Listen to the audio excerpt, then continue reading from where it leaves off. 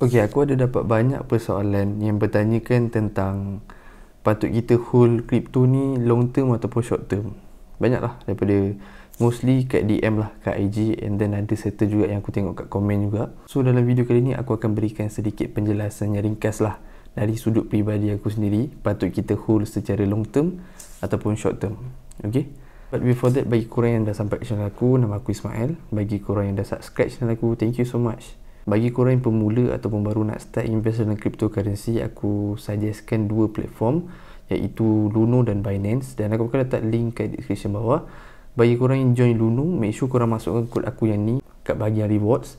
And then kalau korang invest lebih daripada 250, tak kisah dalam Bitcoin ataupun Ethereum ataupun XRP ataupun Litecoin, ataupun Bitcoin Cash korang akan dapat free RM25 ok dalam bentuk Bitcoin ok jap sebelum aku pergi kat video kali ni aku nak cakapkan tentang previously aku dah buat satu video dan kat penghujung video aku dah cakap tentang nak ataupun tak kalau aku buat video daripada starting from basic and then pergilah ke atas-atas ok sampai habis sebab ramai yang tengok ni merupakan yang newbie jugalah ok so aku dapat ramai orang cakap nak and then aku ada post juga kat youtube punya status Okay, ramai yang cakap nak. So, insyaAllah aku akan set up. Okay, aku set up apa yang aku nak sampaikan. Okay, from basic until habis lah. Okay, aku akan setting. So, mungkin dalam waktu yang terdekat ni lah. Okay, so korang yang nak, stay tune. InsyaAllah aku akan buat. Okay, sebab apa yang aku nak, sesiapa yang subscribe channel aku ni bukan sahaja subscribe saja-saja. Maksudnya korang dapat info lah. Dapat info dan dapat ilmu lah. Okay, and then korang boleh sampaikan kat orang lain ataupun untuk diri korang sendiri. Okay. So tu apa yang aku nak sampaikan So kalau korang baru kat channel aku Jangan lupa tekan button like Button subscribe Okay jom So first sekali Apa yang korang kena tahu Tentang short term dengan long term ni Short term ni uh, Kalau ikut yang sebenar punya Definition lah Merupakan satu jangka hayat yang daripada setahun ke tiga tahun Kalau long term maksudnya tiga tahun ke lima tahun ke atas lah macam tu Tapi apa yang aku nak cakapkan Short term dalam aku punya definisi Maksudnya macam hari ataupun minggu Okey. Kalau long term pula bulan ataupun tahun. Itu ikut aku punya definisi untuk video kali ni aku nak sampaikan, okey. Okey, aku sampaikan aku cakap awal lah.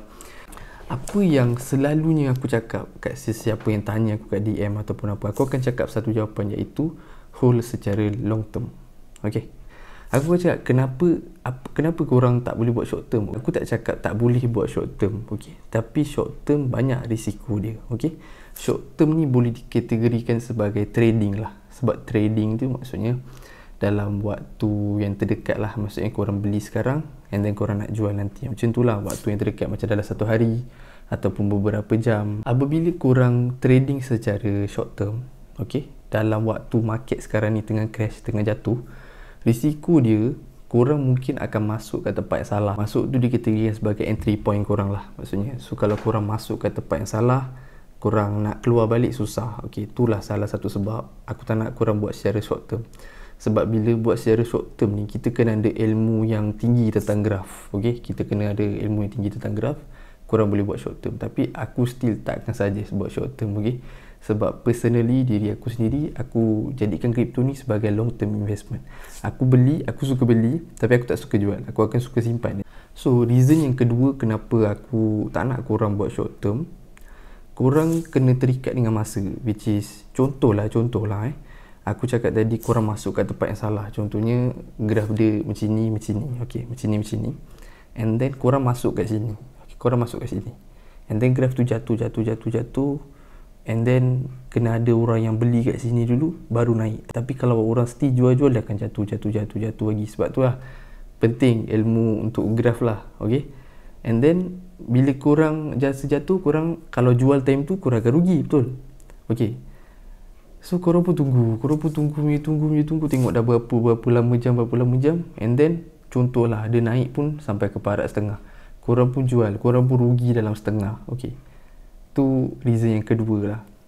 Ni secara aku cerita ni secara macam santai lah okey tak nak cerita macam terlalu detail lah okey aku nak cakap yang reason terbesar untuk tidak trading crypto secara short term senang rugi.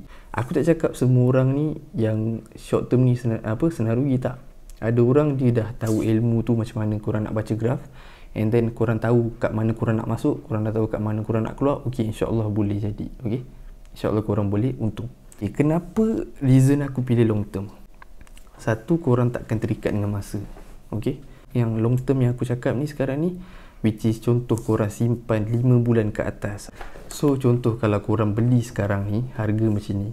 And then korang simpan je lah. Korang simpan tengok dah harga 3 bulan Eh dah naik. Ha, Korang boleh jual. Tetapi kalau contoh lepas dah 3 bulan harga dia macam tu je. Korang simpan je. Aku akan jadikan kripto ni sebagai long term investment. Aku takkan jadikan macam aku beli hari ni aku nak esok untung aku takkan jadikan macam tu lah personally diri aku. Dan aku nak cakap kat korang juga sesiapa yang masuk bidang kripto ni eh, jangan ingat yang macam senang-senang lah korang boleh buat untung hari ni. Esok tu trading boleh trading boleh. Ok reason yang first tadi korang tak terikat dengan masa. Ok korang beli korang simpan. Ok. Reason yang kedua long term ni korang akan dapat nak cakap dia senang untung. Okey senang untung. Bukan aku nak cakapkan semua eh tapi from aku punya research tentang coin-coin ada satu-satu jenis coin apabila coin tu dia bergerak secara bulan ataupun tahun lah. Okey senang cerita tahun. Mesti dia akan menaik which is bila di bulan lah. Macam bulan yang lepas. Sekarang ni sekarang ni waktu yang sangat baik untuk kurang masuk aku punya personal advice lah kira. Aku bukan seorang financial advisor nak cakap awal tapi aku sendiri diri aku sendiri dalam market tengah crash sekarang ni aku akan beli sedikit sedikit sedikit. Dan aku akan simpan. Ok contoh lah contoh paling senang lah ramai orang suka SRP SRP daripada RM7 hari tu dah jatuh ke RM2 lebih sekarang. So aku dah beli sikit lah beli sikit sikit sikit ok macam tu lah cara aku selalu aku buat. Bila market jatuh aku akan beli sikit sikit sikit. Contoh lah ok korang beli korang beli hari ni contohnya. And then korang nak set mindset korang aku nak simpan ni secara long term. Aku nak simpan ni secara long term. Contoh dah 3 tahun jadi bullrun confirmly bullrun semua coin dia akan hit dia akan naik lah confirmly semua coin Okay, tak cakap semua lah mostly mostly coin semua coin akan naik so kalau korang beli daripada sekarang and then korang simpan contohnya setahun kedua jadi lagi bullrun korang untung kat situ Okey, nak cakap dia bull run ni dia boleh hit satu-satu coin tu 10 kali ganda, 100 kali. Banyak yang aku tengok macam tu, okey. Tetapi kalau apa yang kita invest tu kita dapat 2 kali ganda ataupun 3 kali ganda pun dah kira sangat-sangat berjaya, okey. So uh, berbalik kepada persoalan, okey. Berbalik kepada persoalan. Aku uh, terang ni secara santai. Kalau aku punya suggestion long term. Okey, long term always the best lah. Which is holding, holding the coins. Okey, bukannya korang trading short term aku dah bagi tahu tadi first kali senang rugi sebab korang salah masuk salah keluar and then dia berkait dengan masa lah ok before aku end video ni semua bagi korang yang baru sampai jangan lupa tekan button like button subscribe.